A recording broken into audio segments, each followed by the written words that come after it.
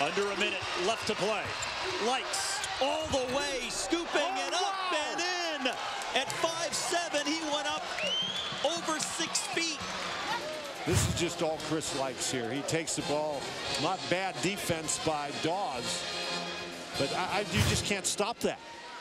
And Sims, Sims is in pretty good position. He gets there, goes straight up in the air. But like somehow, how does that guy that size get the ball in the basket like